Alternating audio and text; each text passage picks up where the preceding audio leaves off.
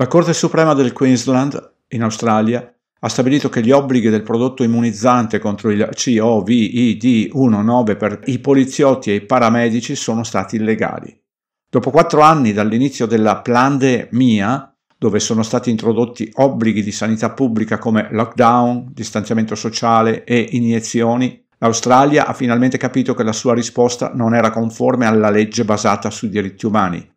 Martedì 27 febbraio la Corte Suprema del Queensland ha stabilito che gli obblighi di immunizzazione contro il COVID-19 per coloro che erano e sono in prima linea, compresi agenti di polizia e paramedici, sono stati illegali. Il giudice amministratore senior Glenn Martin ha emesso una sentenza di 115 pagine affermando che le direttive emesse dal commissario di polizia Katarina Carroll non hanno tenuto conto della dovuta considerazione dei diritti umani Secondo la decisione, le direttive limitavano i diritti umani di detti lavoratori perché dovevano sottoporsi ad una procedura medica senza il pieno consenso. L'ex direttore generale della sanità del Queensland, John Wakefield, non è stato in grado di dimostrare di aver emesso il mandato per l'immunizzazione in base a un termine implicito dei contratti di lavoro per i lavoratori del servizio di ambulanza. Di conseguenza, entrambi gli obblighi sulle immunizzazioni sono stati ritenuti dalla Corte illegali e privi di effetto, Ciò significa che 74 candidati nominati al Tribunale, che sono attuali dipendenti delle ambulanze e dei servizi di polizia, non possono essere licenziati né tantomeno disciplinati a causa del mancato rispetto del mandato obbligatorio per l'immunizzazione attraverso iniezione.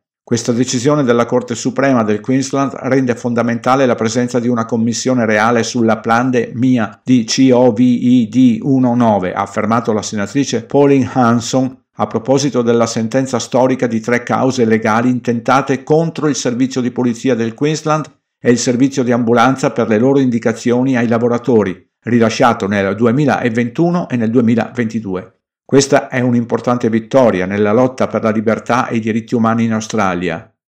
Noi italiani cosa stiamo aspettando? Se non succede nulla, significa che il nostro sistema giudiziario è corrotto.